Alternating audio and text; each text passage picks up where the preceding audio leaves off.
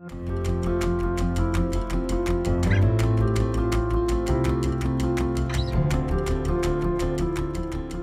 should the government be doing for the next few months?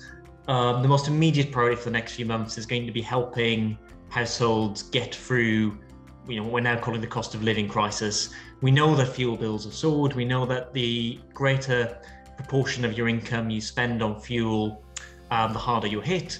We know that means that low income households are being hit the hardest. The government has actually put out quite a bit of support, but it's been spread very widely. What we need is more targeted support at the bottom quarter to a third of households. In, we, we need it before the autumn. Ideally, we need it now, but we need it before the autumn when fuel bills rise again. You know, people often say you can't solve a problem by throwing money at it.